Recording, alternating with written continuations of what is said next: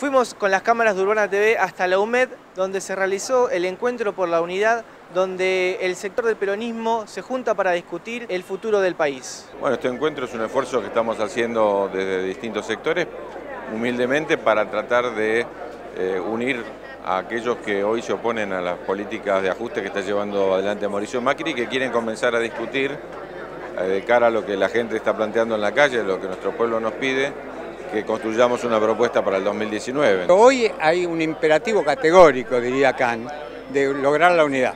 El peronismo todo desarmado y todo desunido solo le sirve a Macri y creemos que las políticas ya a esta altura están exigiendo que tomemos otras decisiones. Cuando las cosas están mal como ahora, ser peronista es una obligación. Hay que tomar esa obligación para que al pueblo argentino le vaya bien.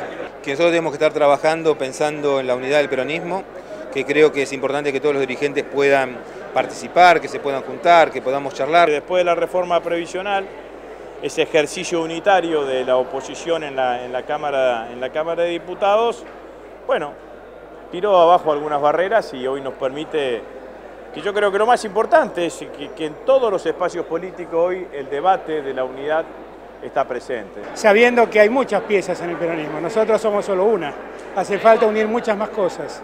Y lo único que estamos haciendo es una convocatoria para que todos hagan su esfuerzo. Nosotros solos no vamos a lograr nada. Hace falta que cada uno ponga su parte. Vamos a tratar de encontrar unidad en el campo popular.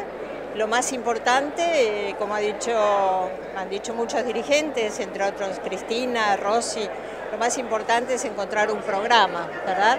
Puntos de acuerdo. Este encuentro tiene el sentido programático de discutir cuáles son las líneas sobre las cuales nosotros tenemos que hacer la unidad. No queremos una unidad en abstracto, queremos que la unidad tiene que ser en torno a una mirada común.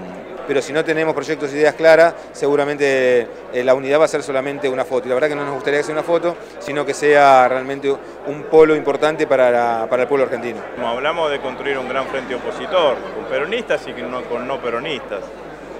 Luego se elegirán cuáles son las personas mujeres y hombres más adecuados para llevarlos a cabo como propuesta electoral, pero este es el punto de la, digamos, de, organizar un programa. La dispersión opositora claramente es beneficiosa para, es beneficiosa solamente para, para el presidente Macri. La política para ganar la Macri no puede empezar con nombre y apellido, empieza por la política y por la gente, después los dirigentes. Nosotros estamos en un espacio político que lidera Cristina Fernández de Kirchner, es la dirigente política opositora más importante. Tiene una dimensión de estadista que no tiene otro dirigente de la oposición. La verdad que Ningún manual de la política del mundo le prescribe a usted o le aconseja a usted que tiene que hacer la unidad de la oposición sin la dirigente más importante, sino que por el contrario. Sectores del masismo, sectores del randacismo, sectores del kirchnerismo se junten hoy acá para tratar de empezar a recorrer este camino de la unidad, que no es un camino fácil ni sencillo. No venimos a discutir ningún puesto, ninguna lista, ningún encuentro, ninguna unión, digamos, eh, inmediata por lo menos, ni por broma.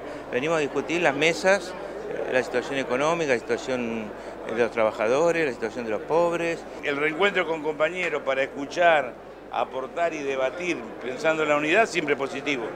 El gobierno ha demostrado que es la peor derecha que pudiese existir en la Argentina.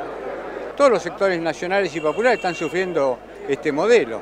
Si se cree que, con, que de esta manera se va a lograr un crecimiento este, real que satisfaga además a, a los que están peor, están totalmente equivocados. Lo que están haciendo es echando gente, el ajuste clásico de manera burda. Con una política económica que cada día genera más daño a los trabajadores, a los que menos tienen, a los jubilados, a los pensionados, que destruye la industria nacional.